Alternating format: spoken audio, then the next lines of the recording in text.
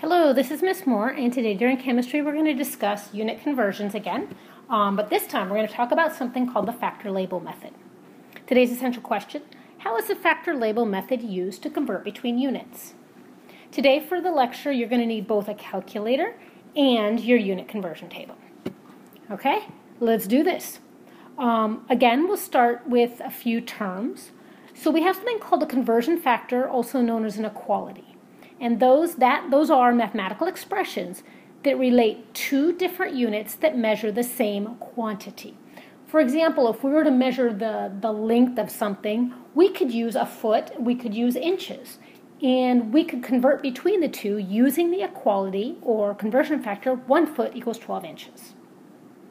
So a conversion factor or equality allows you to convert measurements from one unit to another. A conversion factor or equality is a relationship between the units given, the known, and the units you are trying to find, the unknown. Okay, let's learn how to use conversion factors. So the steps for using conversion factors. Um, the example we, we, we will use while learning this is how many centimeters are there in 56 inches? Okay, the first thing you should do when doing these kind of problems is to rewrite the problem as a math problem. So for step one, we're going to write what we know. And we know we have 56 inches. And what are we trying to find out? What, when In math, when you don't know something, your unknown is an x. So we're trying to find out what 56 inches is in centimeters. So there is what our math problem should look like. Okay, step two, we're going to set up a grid and write the given or the known over 1.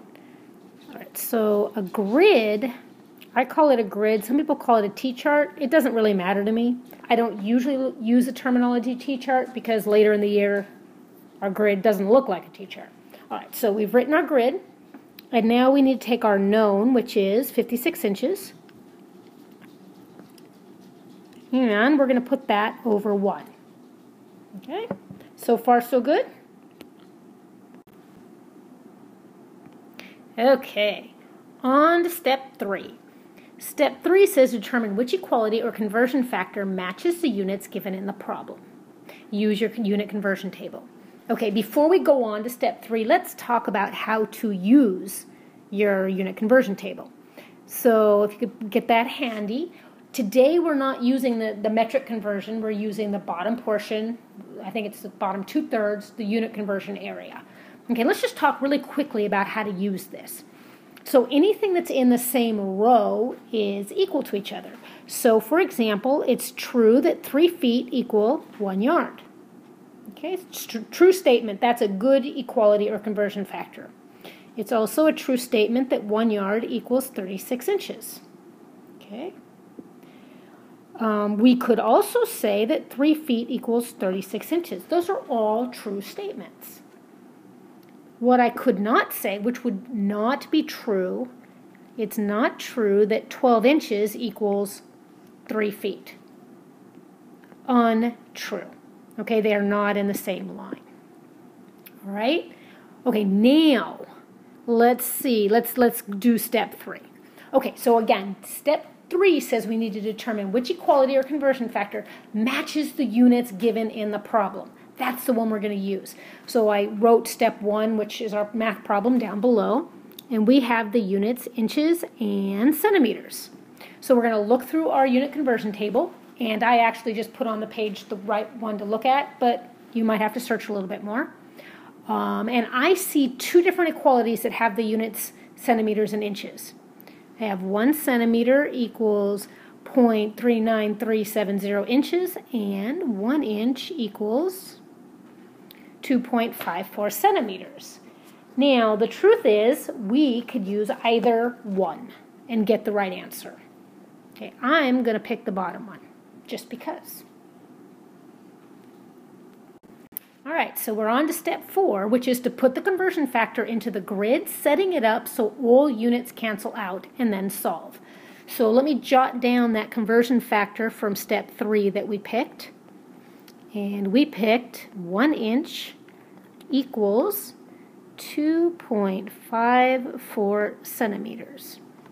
All right, so what we need to do now is we need to take these, this number and unit and this number and unit, and it needs to go into these two places. Um, and we pick which one should go where based on the ability to cross out the units. Um, so if you remember, you can cross out top to bottom. So since we have inches in the top here, I'm going to put inches at the bottom.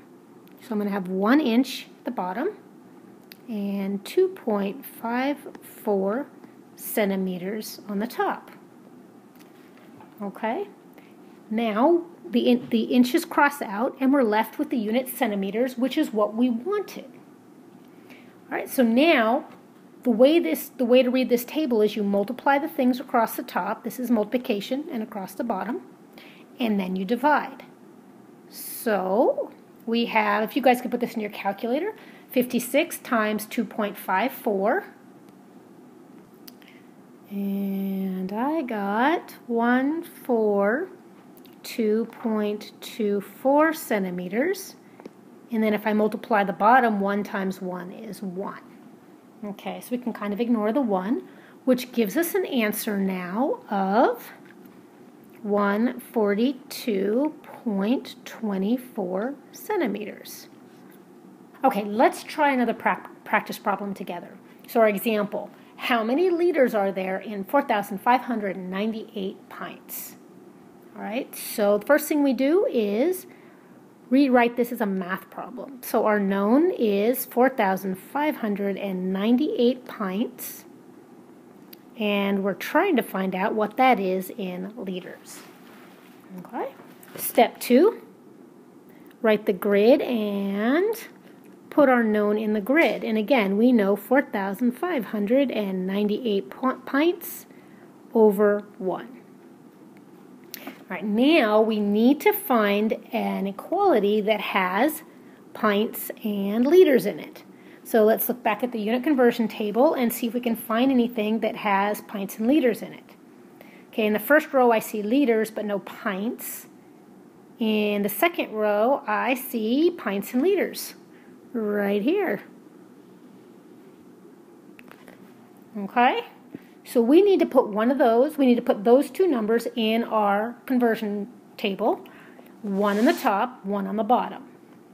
So, what do you think? Who should go on the bottom? And why do you think it should go on the bottom?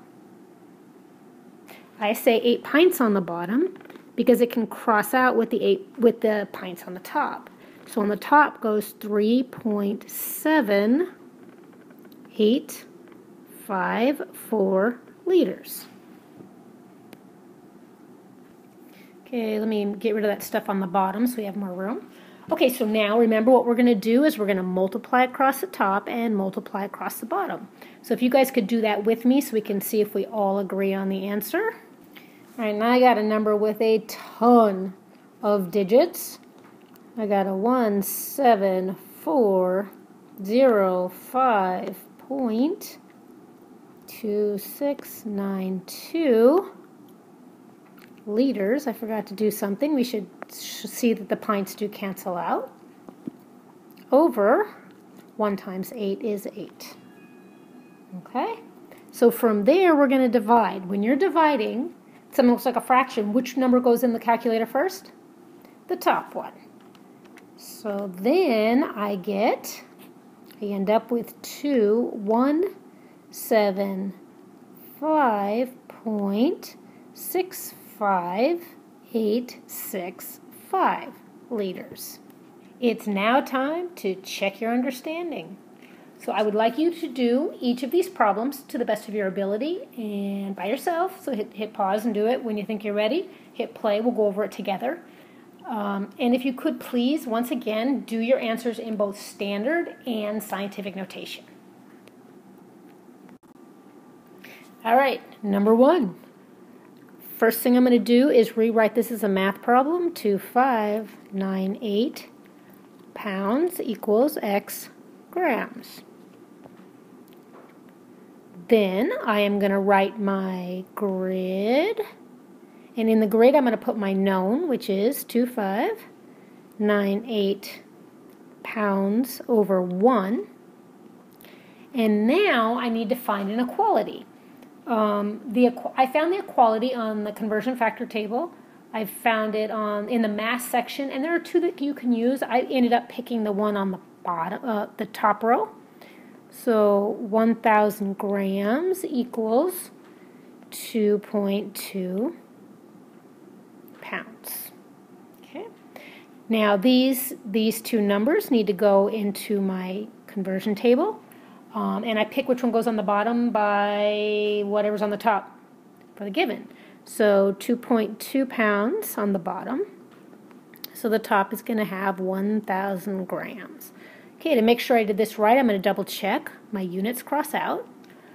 So now I need to, I'm going to multiply across the top and across the bottom. And that gives me a big old long number, 2598000 grams over 2.2. So now I'm going to divide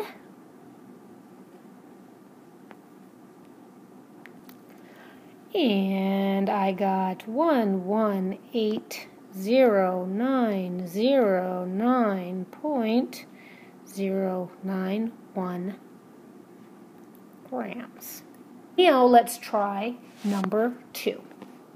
Okay, step one, rewrite this as a math problem, which is 32 days equals x minutes. Okay, and then Step two, write a grid and put our known in the grid, which in this case is 32 days, over 1. Now I need to look at the unit conversion table, figure out which equality I'm going to use. Okay, and I pick to use 365 days equals 5, 2, 5, 6, 0, 0 minutes. Okay. Now these two numbers need to go into our grid and I'm going to put 365 days at the bottom so that days crosses out with days. And the top is going to be 5, 2, 5, 600 minutes. And I'm now going to get rid of this stuff, get it out of my way. Alright, so I'm going to multiply across the top and across the bottom. And when I do that, I get a big old long number. You get 16819 minutes and 365. Okay, and from here I divide, and I got four six zero eight zero minutes. Number three. Okay, let's write our math problem. I've got 184900 feet equals x miles. Step two, I write the grid and put in my known, which is 184900 feet over 1. Next, I look for an equality that has both feet and miles in it, and I found 1 mile equals 5280 feet. Okay, when I put these two numbers in the grid, I'm going to put the 5280 feet on the bottom because I need the feet to cancel out. And one mile goes on the top. Get rid of this. All right, next I'm going to multiply across the top and across the bottom, so I end up with 184900 mile divided by 5280. Okay. When I divide, I get a number with lots of digits.